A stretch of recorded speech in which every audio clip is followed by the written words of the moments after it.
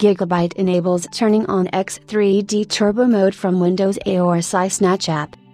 The feature could only be turned on from the BIOS but now can be turned on via the Windows app, but there is a catch.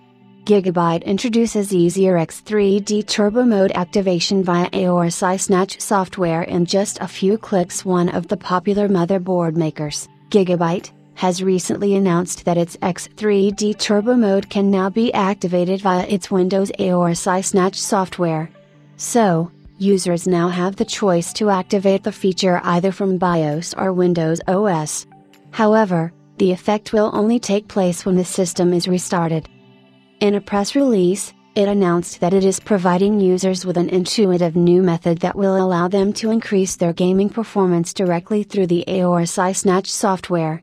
The process involves navigating to the flag icon inside the app, which Gigabyte explains below run live update on GCC to get the latest AORUS AI Snatch version B24.11.19.01. Navigate to the flag icon in the lower left corner. Click the flag icon to activate X3D Turbo mode. Confirm the pop-up window by clicking OK. System will automatically restart to activate the feature.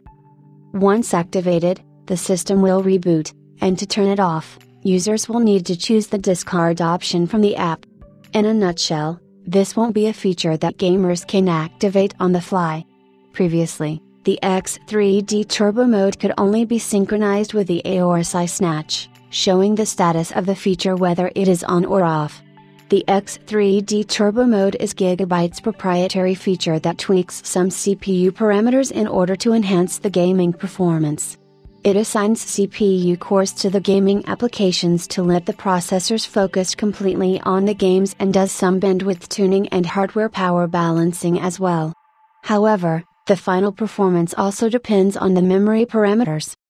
Gigabyte previously showcased the performance numbers with the X3D Turbo mode activated, and according to their own tests, the AMD Ryzen 7 9800 by 3D was able to achieve a 3 to 5% performance boost in a few games.